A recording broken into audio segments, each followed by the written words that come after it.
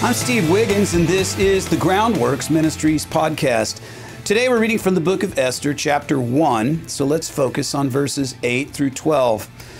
In accordance with the law, the drinking was not compulsory, for so the king had ordered all the officers of his household that they should do according to each man's pleasure. Queen Vashti also made a feast for the women in the royal palace, which belonged to King Ahasuerus.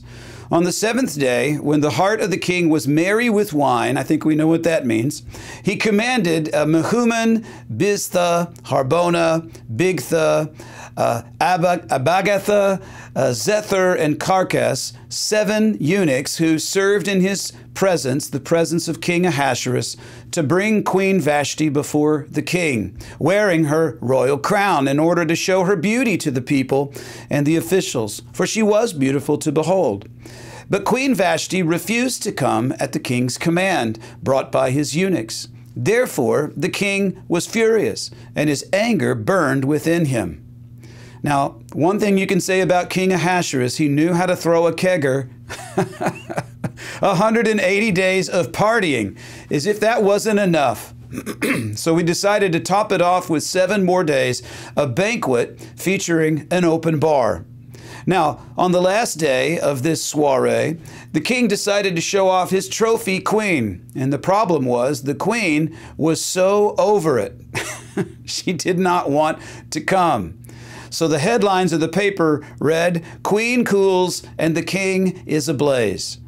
It sounded like the plot for a great movie based on a true story, but how will it end? Well, you'll have to keep reading. It is relevant to our generation, I believe, absolutely. We don't catch a glimpse of the Lord's involvement until chapter 2, but that is precisely where we find the lesson for today. Even when we cannot see God, He is ever present, accomplishing His purposes according to His wills, even within the cabinets of foreign governments. Some people believe that a person must be righteous in order to be used by God, but that is not true, especially in today's passage. God is never hindered by anyone or anything. Now, if you want to please God as He uses you, well, then you'd better be seeking and obeying His word. But just know that God can use you either way, but you don't get the benefit necessarily. In today's chapter, God uses the most worldly of people in the midst of a completely decadent scenario. All so he can position his servants where they can exert maximum influence for his kingdom. So, drunken pagan kings and obstinate queens, well, they may seem like the top of society's food chain, the people we all wish that we were, but they're merely tools in the hands of the Lord. Perhaps God is distant to you. Uh, at least he seems that way. Or maybe he seems like he's absent from your life. Maybe you wonder if God even knows your name or cares about your personal well being.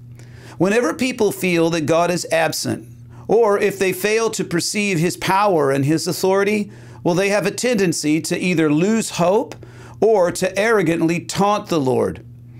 Now, neither of those reactions is justified because God is ever present and He is almighty.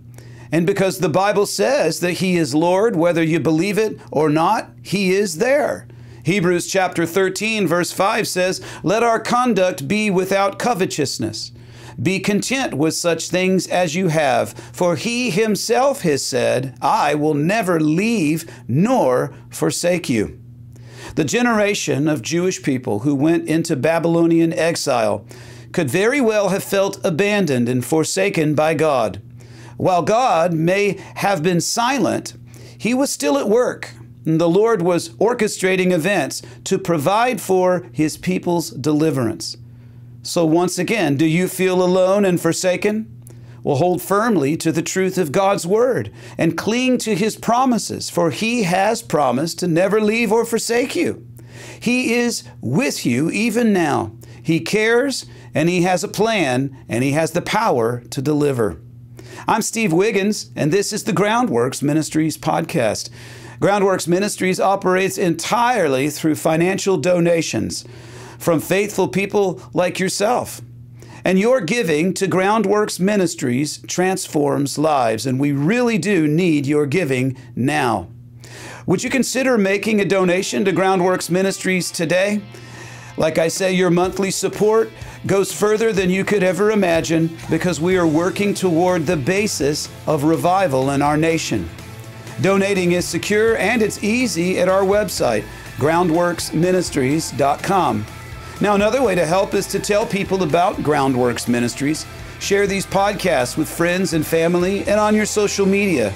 And of course, you can always direct folks to our website, groundworksministries.com.